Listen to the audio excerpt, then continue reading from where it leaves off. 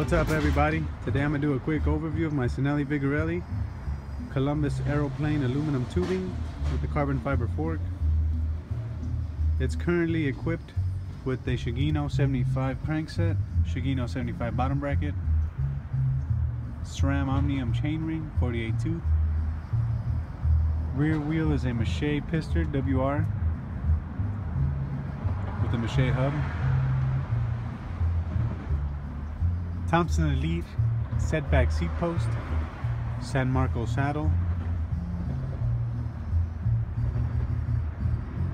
Columbus headset, Cinelli Ant stem,